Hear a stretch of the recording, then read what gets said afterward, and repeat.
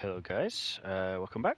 Uh, today I just want to make a little video about um, the co-drivers, um, well not so much the co-drivers but specifically this one, um, the J co-driver, because this co-driver is really really going to make a, um, a really good difference to Typhoons and Scorpions.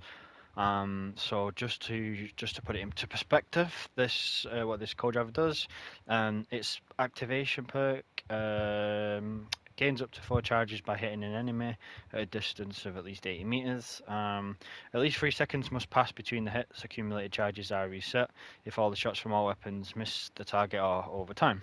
And then the effect is each charge increases the damage of all weapons by 7%. So you can stack this four times, giving you a total of 28% damage buff to uh, anything that hits your target at least 80 meters or more. And then the passive skills are as uh, projectile speed 5%, that's not too bad. Um, weapon spread minus 10 doesn't really make a difference on scorpions or typhoons. And then ammo pack mass, which is, you know, that's just good for anything. So, uh, going off old, uh, because now the the, the scorpion has actually. Oh wait, one second. Let me just change my controls to sideways. Okay, so uh, the Scorpion used to deal 560 damage per shot, or per two Scorpions did 560 damage. No longer, no longer, sorry, is that the case? They now deal 532 damage, so it's 28 uh, damage enough than over 560 what it used to do. Um, so it is a little nerf. I'm not sure if they included it in the patch notes. It's not a massive nerf. It's not really much to probably notice. Uh, used to be 560, now it's 532. Um, however, there is a co-driver uh, you can use which actually buffs the damage over 560. In fact, it's quite a lot over 560, as long as you hit your targets. Um, so that is the J co-driver, and that's what we're going to be using. That's what this video is about. Let's just activate that. So, um, as you can see at the bottom, we have a little under next to the durability. We have a new a new kind of uh, section, which is the co-driver section, uh, which is the perk, and if it's charged or whatnot, um, whatever you want to call it. So 560 is the base damage of what the Scops used to do. Now it's 532. Um, if you get one charge on J, um, oh, I didn't charge them because they go up to they went over 18 meters. Okay, so now I have one charge. So my next shot will deal 569. With two shots charges, it will deal 606. And then, let me just get it back to four charges because keeps right. Okay, so we're at four charges now. No, we're not. We're back at three. Stay at four. Six eight one.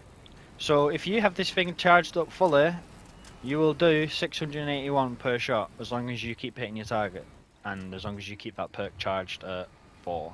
That is really really good. I'm not going to say it's broken, but that's really good. If you if you got uh, a Scorpion player that you know doesn't miss the targets consistently and so it hits his targets consistently, um, and they can keep that perk charged up at 4, he's going to be doing some really really good damage. This is also probably going to work for Typhoons. Um, as well, just as good. Um, and no, I want to say it's going to work with the kaiju, but the thing with the kaiju is it's um, actually let's you know what let's try it. Let me just get. Okay, so um, just excuse this awful build. I've literally just pulled the scorpions off just to test it and put kaiju on it.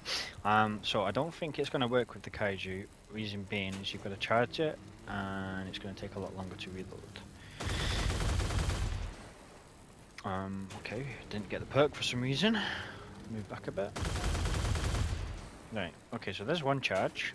Can we get it to two before it goes back to zero?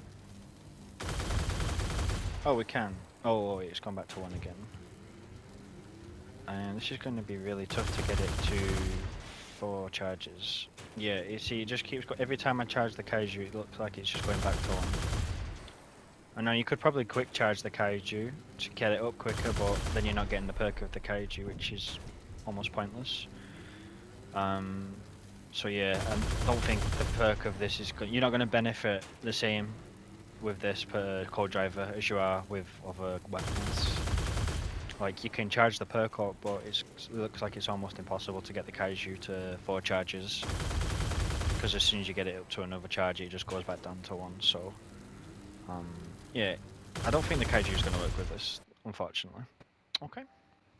Okay, so thanks for watching. Um, hopefully there's um, a bit more. I can shed some more light on some of the other co-drivers um, when I can think of some builds to throw them up with. Um, but yeah, that's just a little insight as to the co-driver J. Um, if anyone's looking to use a co-driver with the Scorpions or the Typhoons, um, this is definitely probably one of, if not the best co-driver to use out of all of them. Hope you enjoyed the video and leave a like.